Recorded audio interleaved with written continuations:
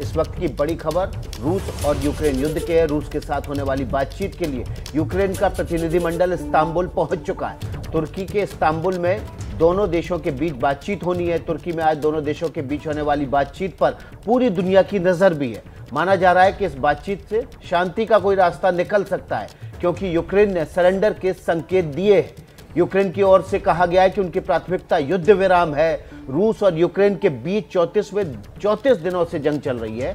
रूसी सेना ने यूक्रेन के कई शहरों का ज़बरदस्त तबाही मचा दी है। लेकिन कीप पर कब्जा करने में रूस अभी तक कामयाब नहीं हो पाया। इस बीच जेलेंस्की ने संकेत दिए हैं कि वो युद्ध से पीछे हट सकते हैं और रूस की बातें और शर्तें मान सकते हैं।